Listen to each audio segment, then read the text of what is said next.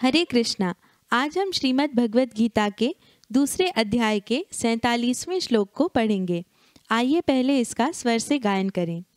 कर्मण्येवाधिकारस्ते मा फलेषु कदाचन मा कर्म फल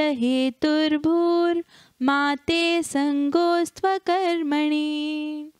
आइए अब इसका शब्दार्थ देखते हैं। कर्मण्येवाधिकारस्ते, कर्मणि एव अधिकार ते, यानी कर्म करने में ही अधिकार तुम्हारा।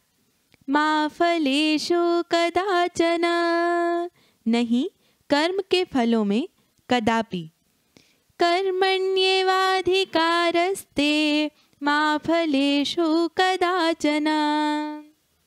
आइए अब अगली पंक्ति पे चलते हैं। माँ कर्म फल हेतुर्भू माँ यानी नहीं, कर्म फल का कारण हो। माते संगोस्त्वकर्मणि माँ यानी नहीं, ते संगह अस्तु अकर्मणि, यानी तुम्हारी आसक्ति हो कर्म न करने में।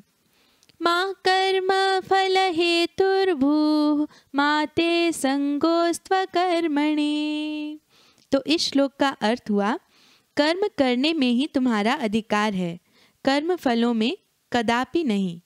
तुम न तो कभी अपने आप को कर्म फलों का कारण मानो, न ही कर्म न करने में कभी आसक्त हो।